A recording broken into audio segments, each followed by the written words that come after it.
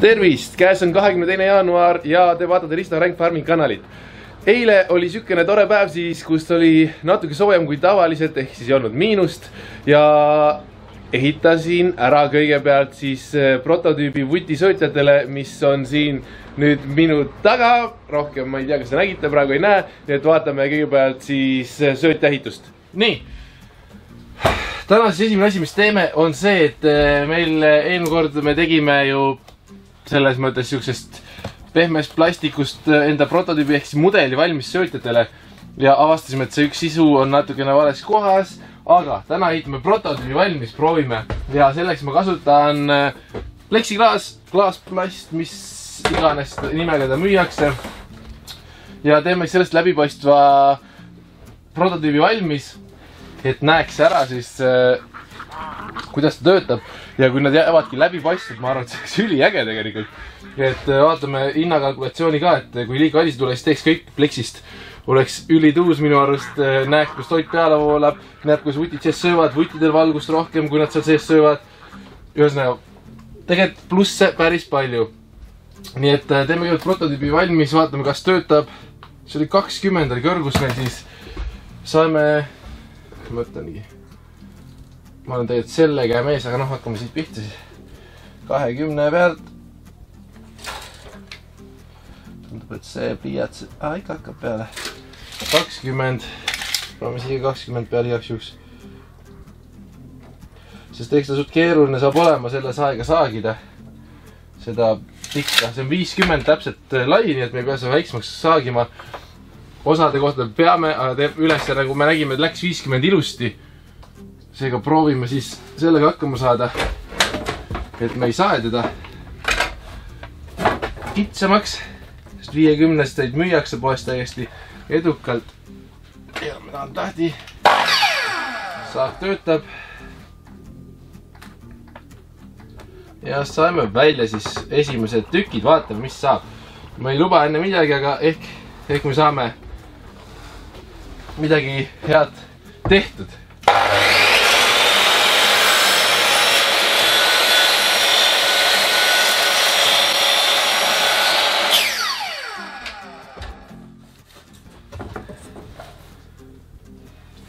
tundub, et lõige ei jää liiga kole. ma kartsin alguses, et äkki hakkab sulatama kiiresti saagida, siis ma arvan, et ei sulata midagi siit läbi. et just see ongi tähtis, et ta saaks tükid ilusti välja lõigatud.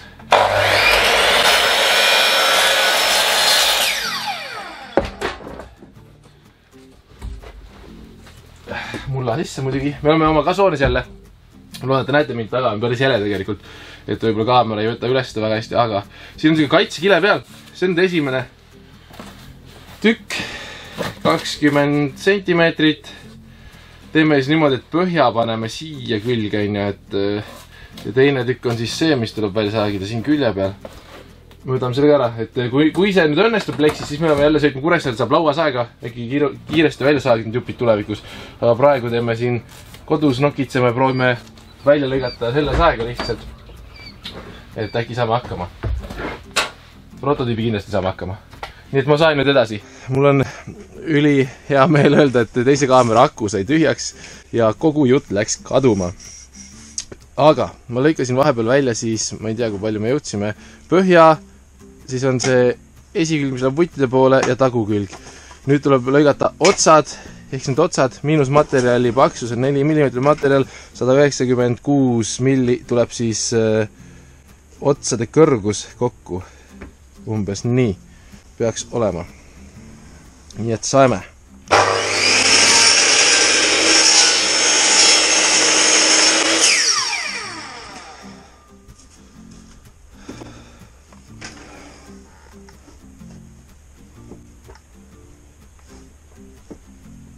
Ja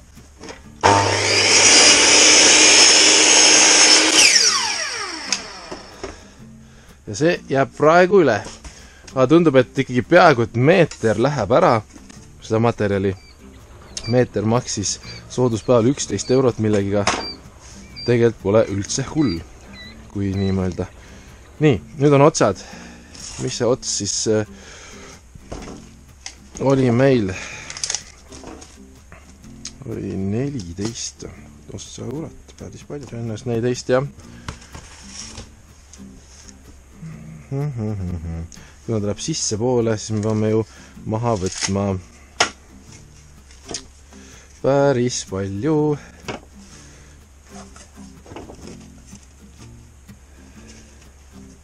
ehk siis ta on praegu mõeldud niimoodi. vale käsi, muidugi, muidugi vale käsi see on otse, see on siin, siis ta tuleb niimoodi, eks ole. eks ta tuleb siia vahele. kõrgust me jätsime neli millimeetrit ära. ja teoreetiliselt me peame siis, selle võiks rohkem kaldu kätte, sest ei ole ju oluline. üks on täisnurk ja teeme samamoodi neliteist vaatame, kuna ta on prototüüp, siis mõni mõõt võib minna siia-sinna natukene. Ma sellepärast ei muretse, ta tööle hakkab ikka. et see on niisugune. tegelikult täpse mõõdu saaks ju niimoodi, kui paneks kümne pealt, aga no paneme, teeme, teeme täpselt, mõõdu vähemalt siis. kümne pealt ja neliteist ehk siis kakskümmend neli on siin ja alt oli siis kuus.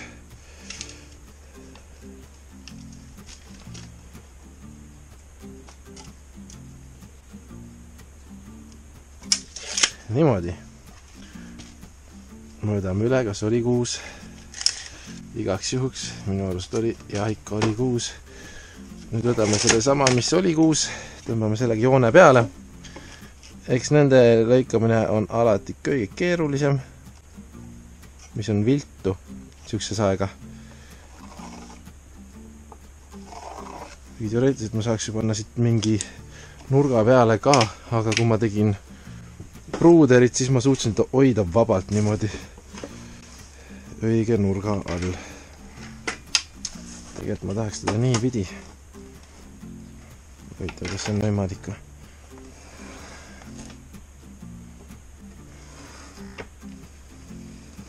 siit nagu läheb.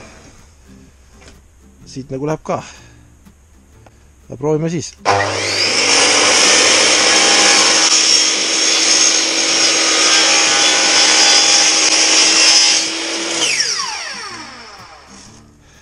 Natuke pikalt saagisin, kohe oli sulamisjälgi näha. nii, olemas, proovime siis siit võtta teise tüki veel kui silikooni kokku panna, siis ta ei pea olema nii täpne. kui panna nüüd sada protsenti liimiga, sellise vedela superatakiga, siis ta peab, siis ta peab olema üpris täpne tegelikult, et muidu teil ei ole kokku lasta midagi, eks ole.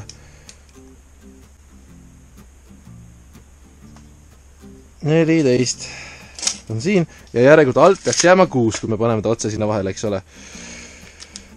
vaatame, kas see klapib ka raudselt klapib, miks ta ei peaks? me ju teeme ikkagi täppisteadust siin on ju.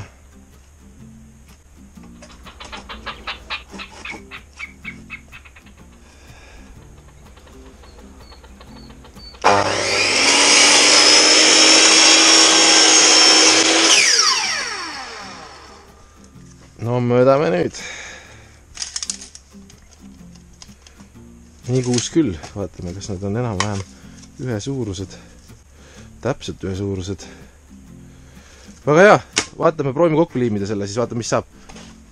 no nii, liimisin kokku selle mudeli nüüd siis äh, tundub üpris tuga ja tugev selles mõttes ainuke asi, mis ma pean järgmine kord teisiti tegema, on see kindlasti puurima augud enne, seda ei praegu tüütu teha, kui ta ei kokku liimitud.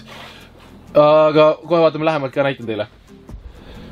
Nii, nüüd väike lähivaade ka, ehk siis äh, see on meie, see oli see mudel, mis me tegime ja siin on nüüd siis tulemus.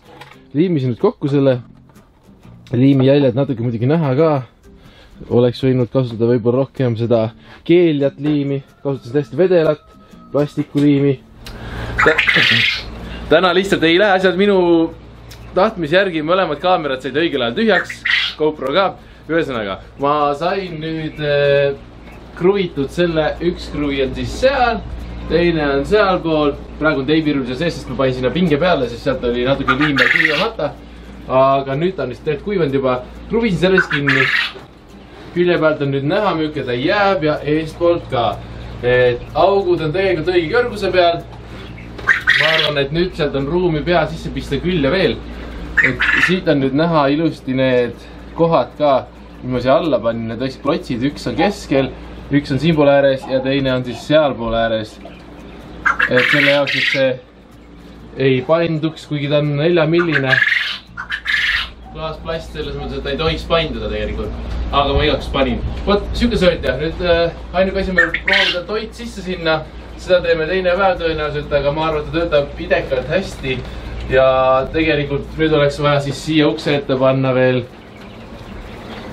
mis uksed, uksed ette panna ja sinnapoole ka õre, kus siis tulevad need jootjad, et sellesse ülemisse puuri panna vutt sisse ja näha, kuidas see sööt töötab. et kui sööt töötab, siis ma teen neid veel, siis praeguse seisuga läheb peaaegu et meeter, pool ruutmeetrit siis, et on viiskümmend lai automaatselt ja läheb pool ruutmeetrit peaaegu, et ühe selle tegemiseks, aga see on umbes üksteist eurot siis. tegelikult ei ole väga hull, ma arvan.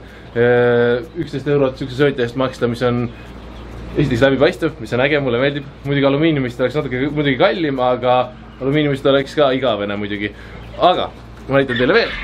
Need tüübid on siis siin üleval, onju, keda me eelmine kord tõstsime. panin neile suurema pudeli, sest väiksem pudel sai liiga kiiresti tühjaks. nüüd on liitrine pudel, sellega nad saavad kaksteist tundi hakkama. ja kes on siin all?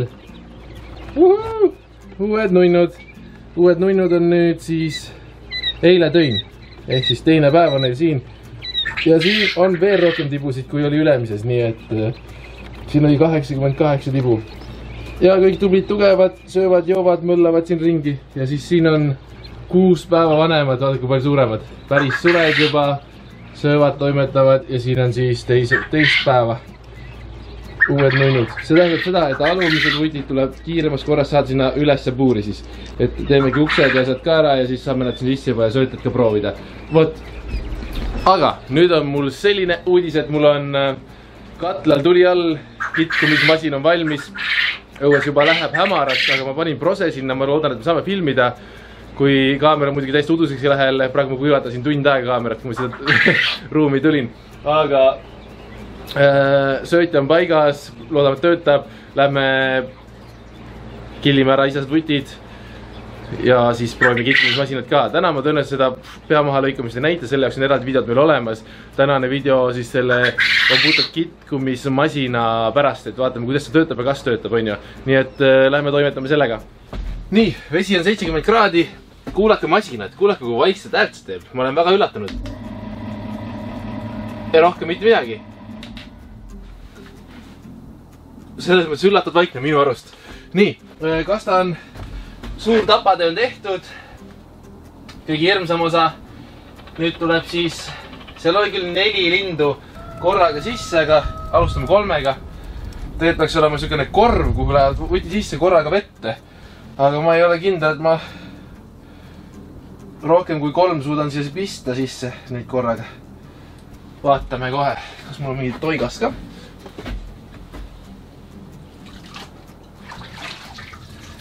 tiivasuled tulevad lahti, järelikult on hästi. proovime siis nüüd, ma ühendasin siia vee ka ära. küll mitte survega vee, vaid ämbrist niisama lähevad sisse.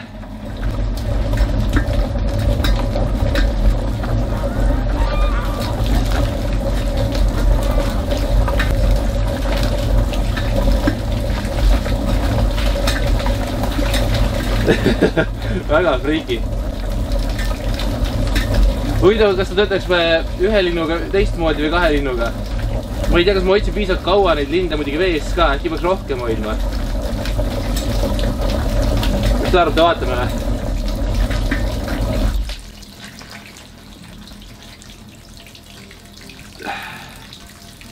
no okei okay,, mõni üks, okei okay,, need on kinni ka. ma oleks pidanud natuke kauem hoidma.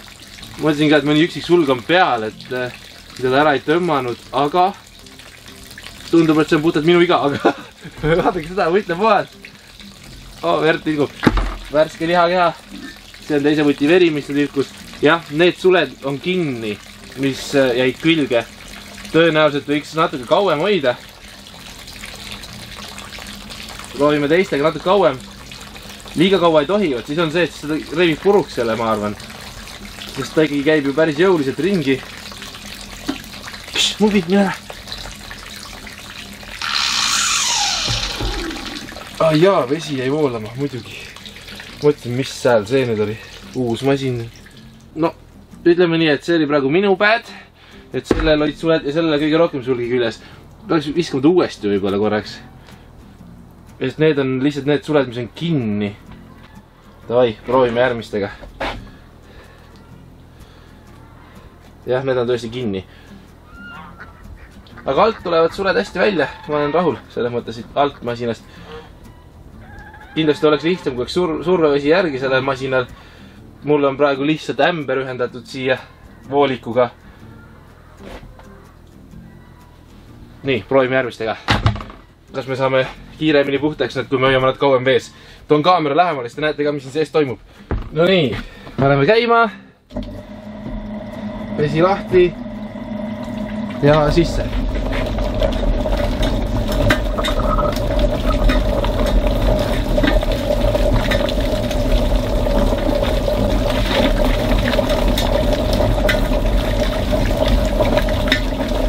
ma olen täiesti kindel, et mul on vaja mingit äh, korvi, kuhu vutit pistest.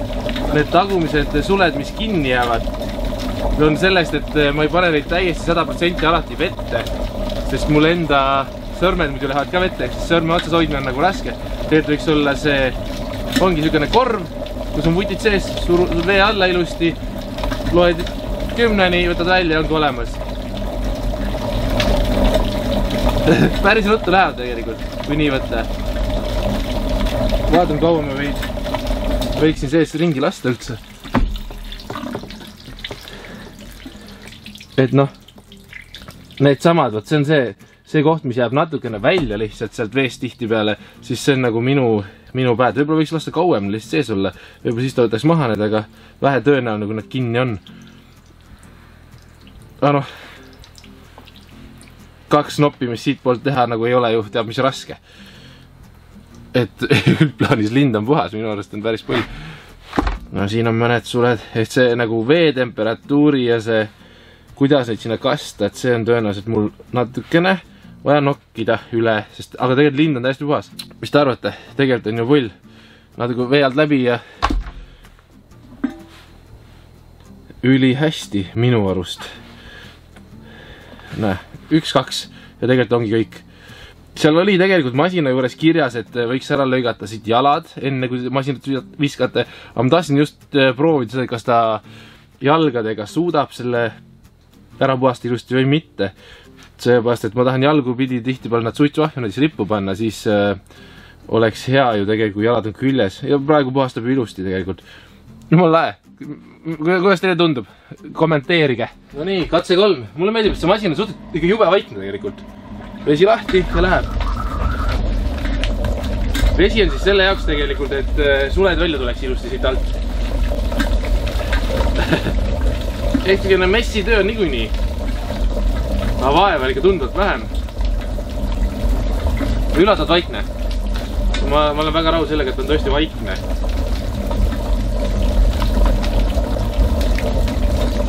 natuke pritsib vett küll. aga need neli lindu korraga panna, jumala okei okay ma nüüd lasen natuke kauem, ma tahan näha, kas ta võtab need kinnised suled ka maha või mitte. no teoreetiliselt ma arvan, et ei võta. aga see võib ka olla sellest, et see on niisugune, kui ma neid vaatasin siis rullimas, siis on niisugune strateegiliselt sitt koht ka, kus ta suled maha võtaks, onju. aga kui ma katsusin neid äh, kummisõrmi, siis on äh, need suhteliselt äh, pehmed ikka. ma arvasin, et on kõvemad või et ta kuidagi kui enda käe sinna sisse paned, kui ta ringi käib, siis ei ole nagu mingit, äh, mingit probleemi. see hääl on sellest, et vesi saab otsa lämbrist. mul on väike kümneliitrine ämber seal lae all. nii. lasin nüüd kauem, vaadates, aga ikkagi need suled, mis on nagu kinni, need on kinni, okei okay,, need on tõesti kinni. aga noh, teate, need on need paar üksikut suurt sulge isegi kui ma kastan neid jalgu pidi, siis see on nagu nii väike mure need ära tõmmata lihtsalt näppudega pärast. sest tegelikult lihakeha on ju puhas. jumala, tegelikult on uskumatu, kui vähe on vaja tööd niimoodi. või selles mõttes, ütleme nüüd enne see oli siuke hull töö, mida ei tahtnud üldse teha. siukene sodimine, sodimine kätega kogu aeg kuumas. aga nüüd on nagu täiesti elatav. mõni üksik pikem sulgne siin otsas on. aga sellel on, näe, tagumik puhas. uhuu, huvitav, kas ma kastsin seda teistmoodi või noh, kes see teab, millest see täpselt tuleb, et mõni üks sul, mõni üks sul, sul kinni jääb, aga üldplaanis ta töötab minu arust üpris hästi. kahjuks on vutt täna söönud, oleks võinud mitte süüa anda, neil oleks lihtsam puhastada pärast. aga nii kord on. ühesõnaga, minu arust masin töötab üpris hästi. jagage oma kommentaare, mida muuta kindlasti, kui ma teen päris siukse tapukoha endale, kus on äh, vesi ja kõik ilusti pandud, siis äh, on töö veel ladusam, saab valguse panna. ühesõnaga tapupunkt tuleb teha, niinimetatud. et äh, mul on nüüd tööd veel, puhastan need tüübid ära, kes mul kõik siin on. mõned on vutimaast veel ja siis äh, on äh, minu päev ka õhtul. muidugi need tuleb ära puhastada ka, aga vuti kitkumismasinast siis nii palju, ma olen äh, rahul selles mõttes äh, hea kompaktne, üllatavalt vaikne ja funksib päris hästi. ma arvan, et kui ma panen voolava vee siia suurema survega veel taha, seda paremini tuleb puhtaks sellega siit. kuigi praegu voolavad ka suled üpris hästi välja, et ma ei oska siit nuriseda midagi, et siin sees ei ole praegu midagi, mingit jama. vot, kirjutage oma arvamus, mis te arvate ja siis vaatame edasi. vot siuksed asjad. tänane video on selline täna saab õhus paduvihma ja sellepärast katteplaanid ja ka nunnumeeter on tõenäoliselt enamjaolt tubane. sest tõesti paduvihm on õues ja mu kaamera ei ole veekindel, nii et ma ei saa seega õue minna, väga ei taha ka. ja teie ikkagi olge tublid, share'ige, likeige, jagage, kirjutage mulle kindlasti, mis te arvate sellest söötjast. mulle ilmselt meeldib, et on läbipaistev ja mulle tundub, et see on fancy sellepärast ja sinna ma arvan, et mahub päris palju sööta, et selle mõõdame ka ära tulevikus, palju sööta sinna mahub. Ja kirjutage kindlasti oma mõtteid selle kitkumismasina kohta, et mis saaks teha teisiti, mis saaks teha paremini ja mis üldse asjast arvate, nii et äh, olge tublid, Hooandja, kindlasti külastage meie Hooandja lehte, saage osa tõelisest maaelust, on seal meie projekti nimi. Ja iga hooandja on tähtis, iga hooandja on äh, üliarmas, nii et äh, andke meile hoogu ja olge tublid, share'ige, likeige, jagage, subscribe ige, tellige ja olge tublid. tšau.